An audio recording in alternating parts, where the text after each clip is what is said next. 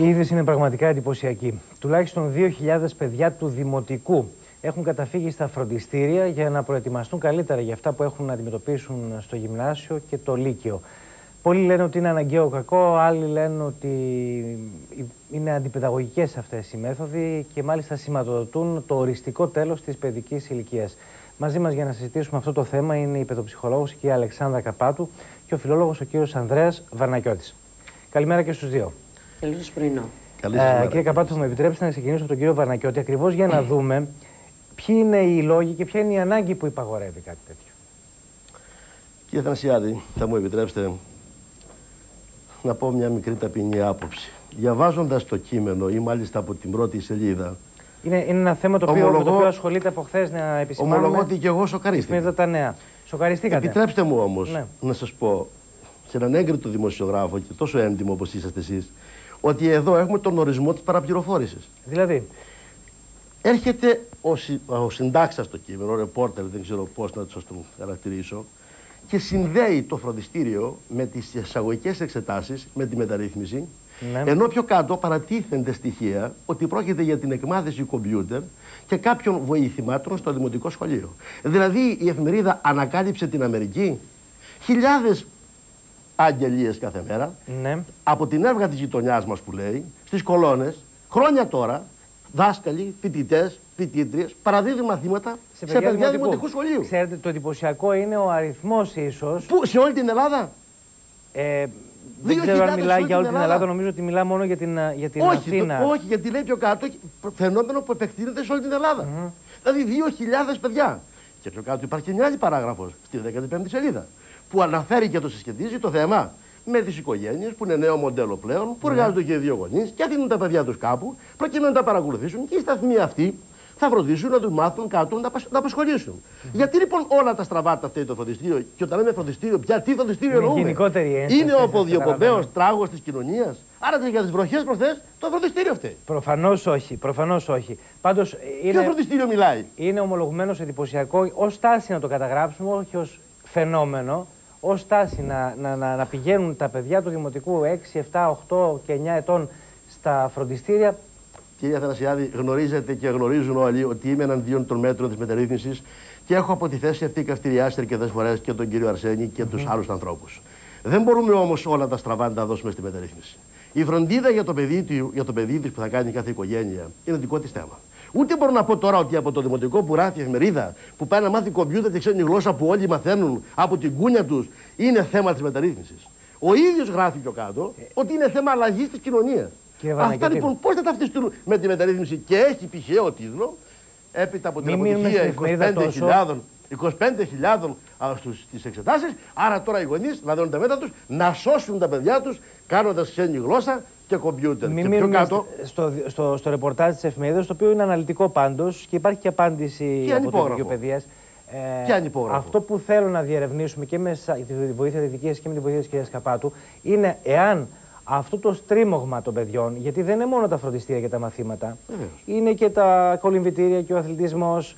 Είναι, είναι και τα κομπιούτερ, είναι και οι ξένε γλώσσε. Όχι, όχι, γι' αυτό λέω. Να το αποσυνδέσουμε το θέμα. Με όλα αυτά πια το παιδί ε, επηρεαστεί, μήπως πλήττουμε τον ψυχισμό και την ισορροπία του. Σίγουρα. Έχουμε την, ταφόπλακα, έχουμε την ταφόπλακα της παιδικής ψυχής. Δεν μπορεί πια το παιδί να ζήσει. Αλλά αυτό δεν φταίει για, δεν φταίει για όλα αυτά η μεταρρύθμιση. Φταίει και το άγχος των γονιών, φταίει ο νεοπλουτισμός, φταίει η επιδειξιομανία, φταίνει και για 12 να πράγματα. Να τα δούμε αυτά, να τα δούμε και αναλυτικά αυτά, μάλιστα. λοιπόν είναι που οθούν. Πώ η κυρία να κάνει την εμφάνισή της, ότι το παιδί μου από 4 χρονών μιλάει δύο ξένες γλώσσες. Πώς το παιδί μου από 3 χρονών μπορεί και χειρίζεται το κομπιούτερ και μπαίνει στο Ιντερνετ. Αυτά λοιπόν δεν φταίει η μεταρρύθμιση. Λέτε λοιπόν ότι κάποιοι γονείς ακριβώς για να επιδεικνύονται οι ίδιοι. Μία άποψη. Μία θέση. Μία. Άλλη. Είναι η εργασία των γονέων. Φεύγουν. Και όπως έχουμε παιδικούς σταθμούς, οι παιδικοί σταθμοί για να δικαιολογήσουν τα χρήματα που παίρνουν, yeah. για να έχουν ανταγωνισμό με κάποιους άλλους, φροντίζουν να δώσουν και κάποια άλλη παροχή. Αυτή λοιπόν η οπτική γωνία είναι ξένη ή είναι διαφορετική, επιτρέψτε μου, από την ψυχολογική, από την παιδική, από το στρίμωγμα, από το στρες, από τα προβλήματα τα οποία πράγματι είναι μεγάλα. Τώρα, αν έχει συντελέσει η μεταρρύθμιση σε έναν άλλον κύκλος, σε μια άλλη ηλικία. Πράγματι γιατί είναι φόρτωμα μεγάλο, ακόμα και στην ηλικία των 15 ετών. που έρχονται τα παιδιά στο φροντιστήριο και με ρωτάνε, δεν ξέρω τι θα πει μεταρρύθμιση. Δεν ξέρω ποιο επάγγελμα να διαλέξω. Είμαι υποχρεωμένος, πάω μου λέει και χθες ένα παιδί στο φροντιστήριο, πάω μου λέει τώρα και δεν ξέρω ποια, δεσ... ποια κατεύθυνση να ακολουθήσω. Δεν έχω ενημερωθεί. Άλλοι μας δεν πηγαίνετε στην, στην τεχνολογική γιατί είναι πιο εύκολη. Μα αν θα πάμε όλοι στην τεχνολογική, εκ των πραγμάτων θα την κάνουμε περισσότερο ανταγωνιστική. Αυτά λοιπόν τα προβλήματα, τα επαγγέλματα δεν τα έχουν καταλάβει τα παιδάκια και καλούνται στην ηλικία των 16 ετών να περάσουν το Ρουβίκονα.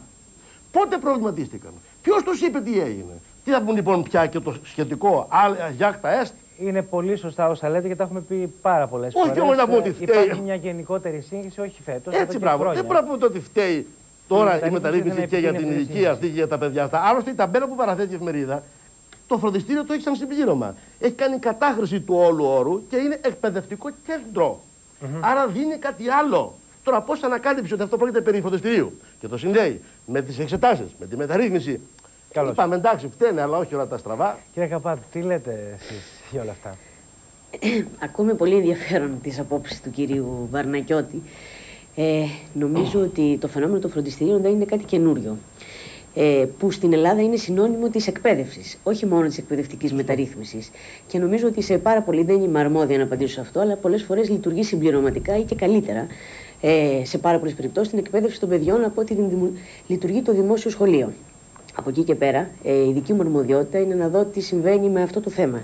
Είναι γεγονός ότι τα τελευταία χρόνια. Είναι μια παραπάνω υποχρέωση, μια πολύ μεγάλη υποχρέωση είναι. που πρέπει να αναλάβουν. Που πρέπει. Αλλά έχει γίνει πια μια αναγκαιότητα. Να αναλάβουν τα παιδιά. Ναι. Αν πάμε όμως από πιο πριν, κυρία Θανασιάδη, ε, είναι, ζούμε όλοι αναμφίβολα σε μια εποχή πολύ γρήγορη. Τη ταχύτητα, στην ηλεκτρονική εποχή όπως την ονομάζουν οι κοινωνιολόγοι, σε μια εποχή που οπωσδήποτε χρειάζεται μια καλύτερη εκπαίδευση του ατόμου για να μπορέσει να καλύψει, αν θέλετε, το ενδεχόμενο της πιθανής ανεργίας αύριο. Ξέρετε ότι ένα, ο μεγαλύτερος αριθμός πτυχιούχων είναι άνεργος σήμερα.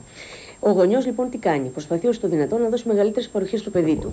Αυτό πολλές φορές γίνεται άκρητα χωρίς δηλαδή να λάβουμε υπόψη μας τις ανάγκες του παιδιού, το αν μπορεί το παιδί να τα καταφέρει και το κατά πόσον το παιδί μας ε, μπορεί να επηρεαστεί ή όχι από αυτά.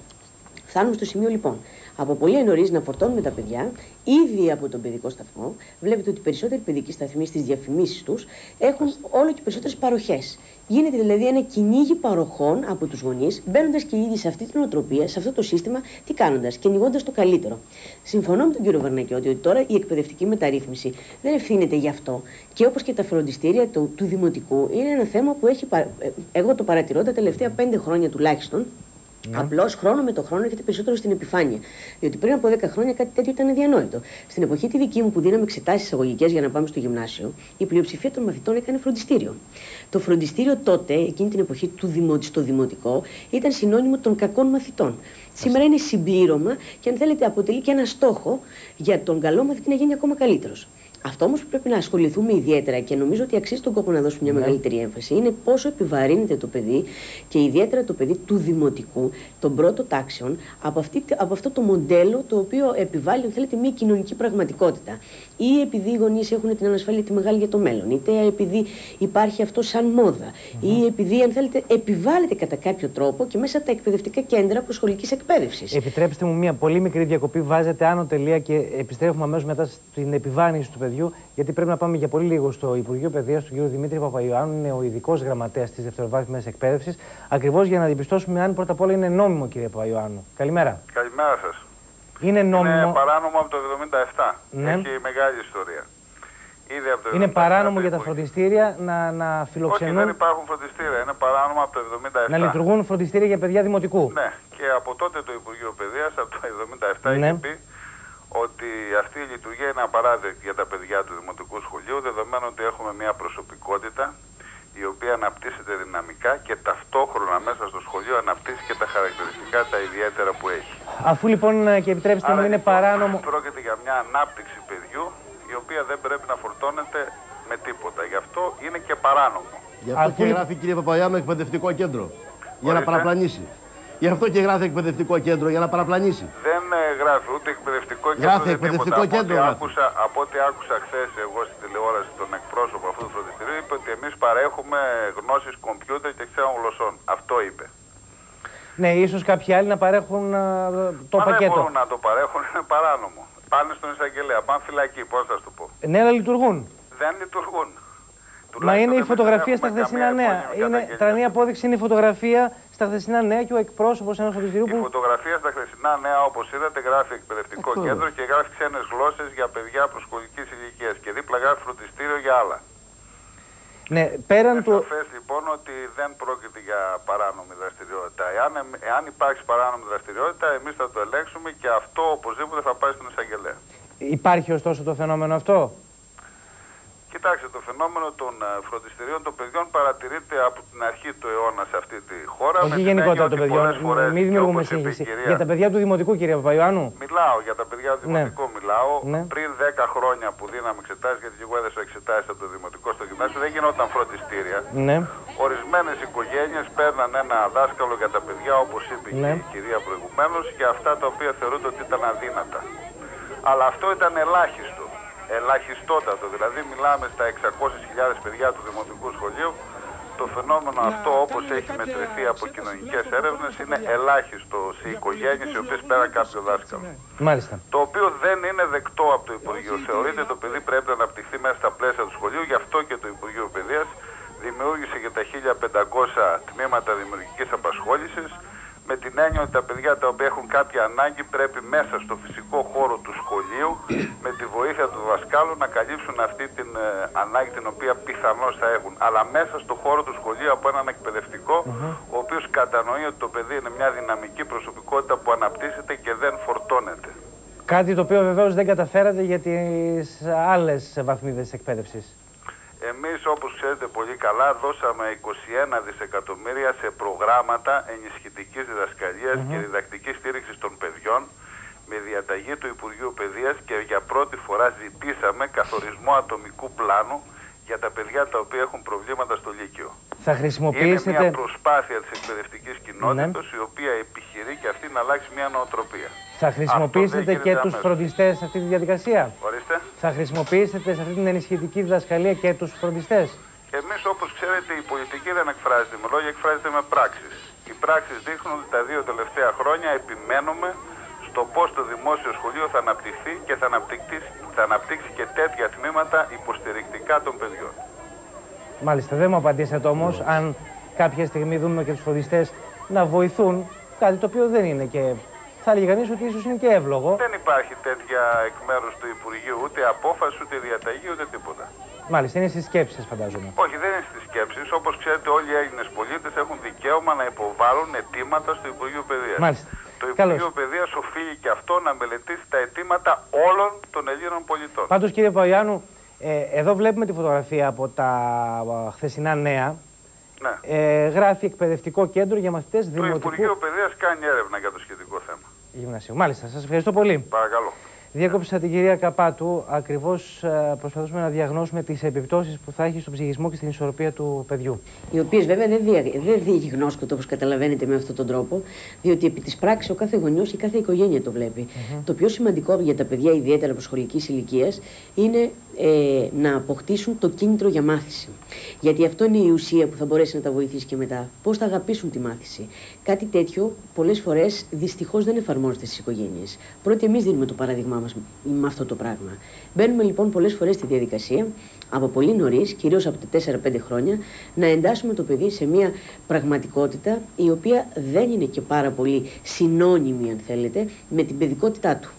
Ε, αυτό το πράγμα βέβαια, όπως καταλαβαίνετε. Για να μην αδικούμε πάντως τους γονείς και ζητώ συγγνώμη, ίσως δεν ξέρουν οι άνθρωποι. Δεν έχουν κάποιον να ρωτήσουν. Μα φυσικά, αυτό λέω. Ότι αν ε, θυμάστε να κάνω μια μικρή σύνδεση με το ναι. προηγούμενο που έλεγα, ότι στα κέντρα προσχολικής εκπαίδευσης πολλές φορές είναι κάτι το οποίο φαίνεται, δείχνεται, το κάνουν, το εφαρμόζουν. Παροχές, παροχές, παροχές τι κομπιούτερ, τι γλώσσες κλπ, κλπ, κλπ.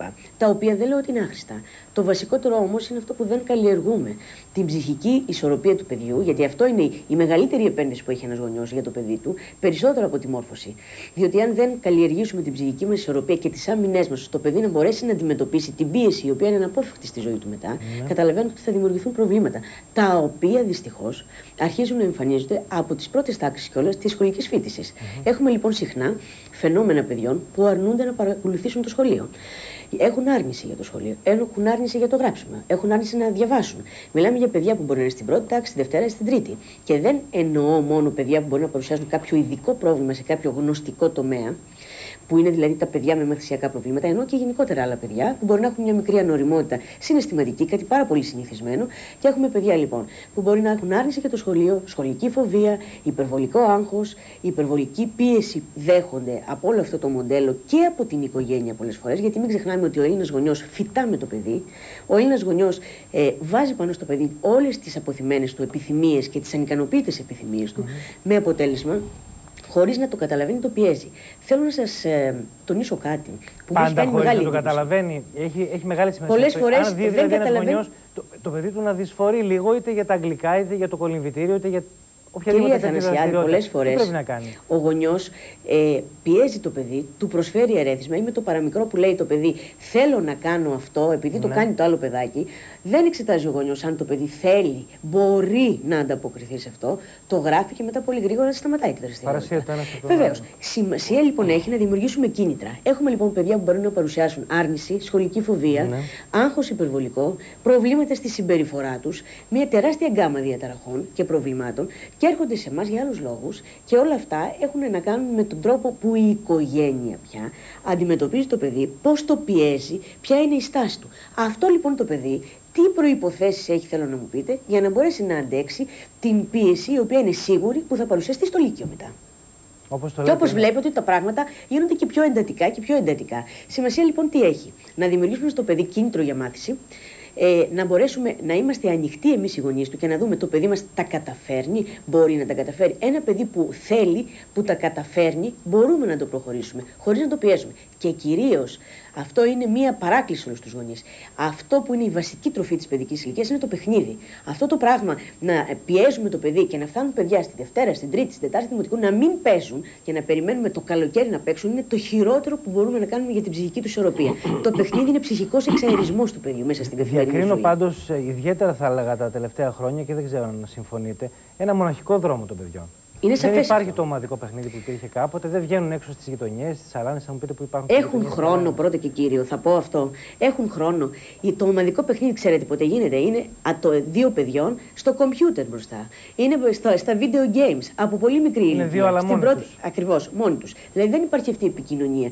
Ο τρόπος της ζωής μας είναι σίγουρα τέτοιος. Εγώ δεν θέλω να τα στυλιτεύσω αυτά. Θέλω να προσπαθήσουν όμως οι γονείς, επειδή δέχομαι ότι δεν ξέρουν και αυτό, επειδή πάρα πολλές φορές έχει τύχει να συζητώ με γονείς, η ενημέρωση είναι η καλύτερη. Αυτό που κάνουμε τώρα σαν συζήτηση νομίζω ότι ενδιαφέρει πάρα πολύ κόσμο. Διότι ο στόχος ποιος είναι, να βοηθήσουν με τους γονείς να καταλάβουν ότι το παιχνίδι δεν είναι άχρηστος χρόνος και να προσπαθήσουν να εξασφαλίσουν στην καθημερινότητα του παιδιού παιχνίδι.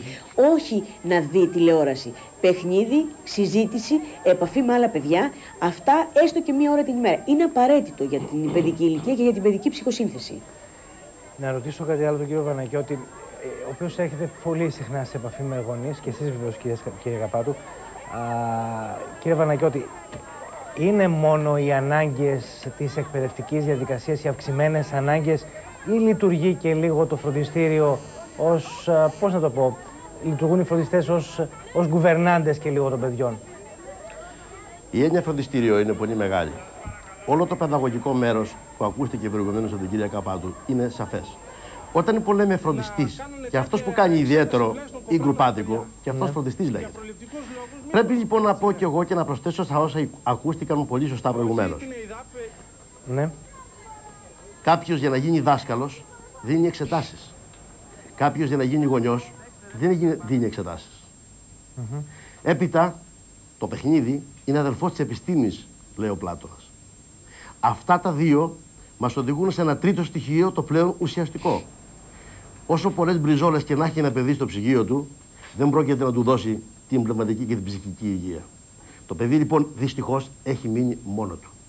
Οι γονείς πιστεύουν με το να του γεμίσουν το ψυγείο και να φύγουν το Σαββατοκύριακο ή να πάνε στις δικές τους δουλειές και τις υποχρεώσεις, το παιδί έχοντας εξασφαλίσει αυτή την ειδική ευμάρεια ότι τα έχει όλα. Του τα παρέχουν όλα. Εδώ είναι το μέγα έγκλημα. Να γίνουν γονείς με γεια του, με χαρά τους. Αλλά μήπως πρέπει να θυμηθούμε το Σοκράτη, χρήτη τους γονείς ή ουπιήν πέδα ή διαταλαιπωρήν και ξυμπεδεύεστε. Μεταφράζω, θα πρέπει να σκεφτούν άλλο παντρεύομαι και άλλο κάνω παιδί. Διαφορετικά μην κάνεις καθόλου και κάθεσαι μοναχός σου να τελειώνει η ιστορία. Αυτή λοιπόν η έννοια του παιδιού είναι μεγάλη υπόθεση. Σκέφτομαι, ίσως να κάνω λάθος, ότι παλιότερα ήταν πάνω από το γραφείο του παιδιού αρκετά περισσότερο, αρκετό χρόνο περισσότερο αφιέρωναν οι γονείς. Και στο δημοτικό και στο γυμνάσιο ακόμα, κύριε Παναγιώτη. Οικογένεια και σχολείο είναι Γι δύο μεγάλοι παράγοντε. Αυτό το στέλνουν για να φύγει από πάνω τους. Ακριβώς. Το είπατε σαφέστατα. Οικογένεια και σχολείο είναι δύο από τους πολύ μεγάλους παράγοντες που συμβάλλουν στην κοινωνικοποίηση και διαπαιδαγώγηση του ατόμου. Από τους δύο αυτούς, στον τομέα της ψυχολογίας και του συναισθήματος, υπερέχει η οικογένεια. Στον τομέα της κοινωνικοποίησης και του ορθολογισμού, υπερέχει το σχολείο. Εάν αυτοί οι δύο παράγοντες δεν συνεργαστούν, τότε το παιδί δυστυχώς θα έχει τα προβλήματα τα οποία στη συνέχεια θα παρουσιάσει. Και σαν άτομο, για τον εαυτό του, την εσωστρέφεια και όλα τα σχετικά και τις ενδεχόμενες έως βέβαιο αντικοινωνικές εκδηλώσεις. Mm Δεν μπορεί λοιπόν σε αυτή τη μικρή ηλικία το παιδί να τα βγάλει πέρα μοναχό του με ένα κομπιούτερ, με ένα άψυχο. Αλλά σε αυτά από εδώ και πέρα ανοίγει παράγραφος. Τι φταίει όπου το κομπιούτερ έγινε απαραίτητο εξάρτημα μαζί με το φαγητό το καθημερινό. Μάλιστα. Και κάτι τελευταίο από εσάς, κύριε Καπάτου. Υπάρχει κάποιος, ε, είτε παιδαγωγικά είτε η ψυχολογία τη λέει, υπάρχει κάποιος μπούσουλας, κάποιος πιλότος για τον χρόνο που πρέπει να κατανέμεται κατά τη διάρκεια της ημέρας; Δηλαδή, πόσες υποχρεώσεις με δύο λόγια μπορεί να αντέξει το παιδί; Πάει το πρωί στο σχολείο, το μεσημέρι γυρίζει στο σπίτι. Μπορεί να συνεχίσει κατευθείαν χωρίς να ξεκουραστεί μια-δυο ώρες να πάει στο γυμναστήριο, στο, στην αθλητική δραστηριότητα, να πάει στο φροντιστήριο, να πάει στο κομπιούτερ μετά. Ε, νομίζω ότι πάρα πολύ ωραία το θέτει το θέμα. Αλλά α, αν μου επιτρέπετε να κάνω μια μικρή παρένθεση στο προηγούμενο, ναι, επειδή τους γονείς τους καημένους τους έχουμε πυροβολήσει σήμερα και τους βάζουμε σε μια ε, κατάσταση και δημιουργούν οι ίδιοι ενοχές, χωρίς όμως να τους δίνουμε και λύσεις κιόλας για τα θέματα. Γιατί όλο τους κριτικάρουμε και κριτικάρουμε μια τακτική που ακολουθούν, ενώ δεν λαμβάνουμε υπόψη ότι δεν γνωρίζουν, δεν είναι ενημερωμένοι. Γίνεται κάποιος γονιός, όπως το είπατε προηγούμενα, χωρίς να ξέρει τι σημαίνει γονιός και τι σημαίνει υποχρέωση και τι σημαίνει συναισθηματικές ανάγκες ενός παιδιού. Όμως πρέπει να ομολογήσουμε ότι οι σημερινοί γονείς είναι πολύ περισσότερο ευαισθητοποιημένοι. Προσπαθούν, ενημερώνονται. Βλέπω σε μένα πόσο εύκολα έρχονται. Πριν από 10 χρόνια θα πρέπει να έχει κάποιος γονιός κάποιο πολύ σοβαρό πρόβλημα για να έρθει να με επισκεφθεί. Σήμερα είναι πάρα πολύ εύκολο. Τα τελευταία, τα τελευταία 7 χρόνια είναι πάρα πολύ πιο εύκολο να έρθει. Ακόμη και για συμβουλές. Δεν είναι απαραίτητο να έχει πρόβλημα μόνο το παιδί τους. Λοιπόν, βλέπω ότι οι γονείς έχουν ευαισθητοποιηθεί, προσπαθούν Απλώς δεν γνωρίζουν. Δεν ξέρετε πώς ρουφάνε. Συζητήσαν αυτή παραδείγματος χάρη ή και σε άλλες που έχουμε. Γιατί βλέπω πάρα πολύ κόσμο καθημερινά και μου το λένε. Το έχουν ανάγκη κάτι τέτοιο. Για να απαντήσω λοιπόν στο ερώτημά σας, νομίζω ότι βασικός οδηγός είναι η διάθεση ενός παιδιού και οι δυνατότητες που έχει. Κάθε οικογένεια όμως εφαρμόζει το δικό της πλαίσιο, το δικό της πλάνο, το δικό της μοντέλο. Εγώ αυτό που θα μπορούσα να πω σαν ψυχολόγος είναι τα εξής. Πάντοτε πρέπει να σεβόμαστε τις ανάγκες ενός παιδιού. Είναι πολύ βασικός άξονας για μένα και αν θέλετε είναι το εικόνισμα, το Ευαγγέλιο πάνω στο οποίο θα προχωρήσει η εκπαίδευση ενός παιδιού. Οι ανάγκες λοιπόν ενός παιδιού είναι το πιο βασικό πράγμα. Οι συναισθηματικές ανάγκες. Άλλο παιδί τραβάει και μόλις γυρίσει από το σπίτι μπορεί να αντέξει να διαβάσει αμέσως. Άλλο παιδί μπορεί να χρειάζεται ένα χρόνο μικρό για να μπορέσει να ξεκουραστεί και μετά να προχωρήσει. Mm-hmm. Σαφώς όμως δεν πρέπει ο γονιός να το πιέσει αν δεν είναι έτοιμο εκείνη τη στιγμή. Πρέπει να το βοηθήσει σταδιακά να προσαρμοστεί, ιδιαίτερα για τις πρώτες τάξεις του δημοτικού, στη διαδικασία να αποκτήσει, να κατανοήσει ότι αυτό είναι δική του ευθύνη η μελέτη. Το παιδί δεν πρέπει να διαβάζει παρέα με τον γονιό, πρέπει να μάθει να διαβάζει μόνος του. Ο γονιός, ιδιαίτερα στις πρώτες τάξεις, πρέπει να είναι εκεί, σε περίπτωση που το παιδί χρειαστεί κάποια βοήθεια, να μάθει. Έτσι πρέπει να είναι. Δεν μπορεί να είναι το δεκανίκι. Και αυτό μιλάμε για κίνητρο μάθησης, και καθώς επίσης και για την οριμότητα ενός παιδιού. Άρα λοιπόν, η πρώτη προσπάθεια ενός γονιού, όταν ξεκινάει το παιδί την πρώτη τάξη, ποια είναι; Σιγά σιγά να το βάλει στη διαδικασία να προσαρμοστεί από τον προφορικό λόγο στο γραπτό. Δεν είναι κάτι εύκολο αυτό. Από εκεί και πέρα να σέβεται τους ρυθμούς του παιδιού, να μπορεί να μην το πιέσει, να έχει ένα πρόγραμμα το παιδί, τι θα κάνει την πρώτη στιγμή, τι θα κάνει την επόμενη, πάντοτε όμως σε συνεργασία και συνεννόηση μαζί του και λαμβάνοντας υπόψη τις ιδιαίτερες ανάγκες του ή τις Κυρίως όμως, ε, κυρίως όμως να έχει πάντοτε χρόνο, ιδιαίτερα στις πρώτες τάξεις, αυτόν να παίξει. Δεν πρέπει να είναι η, η παρένθεση της ημέρας, το παιχνίδι ή αν θέλετε η, το τελευταίο στοιχείο. Πρέπει να είναι ένας βασικός άξονας. Και να μην υποσχόμαστε ότι θα διαβάσει, διάβασε πρώτα και μετά θα δεις τηλεόραση. Θα παίξεις, θα παίξουμε, θα μιλήσουμε. Είναι βασικά στοιχεία στην Όχι εκβιασμούς. όχι εκβιασμούς και όχι δωροδοκίες με αυτού του είδους τα ζητήματα. Ε, χρήσιμα πραγματικά όσα ακούσαμε και από εσάς και από τον κύριο Βανακιώτη. Σας ευχαριστώ πολύ. Και εμείς ευχαριστούμε. Καλημέρα. Λίγες διαφημίσεις, επιστρέφουμε σε λίγο.